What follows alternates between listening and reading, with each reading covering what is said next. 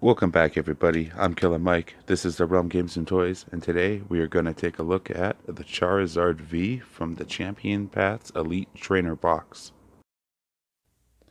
So you can see here, Charizard has 220 HP.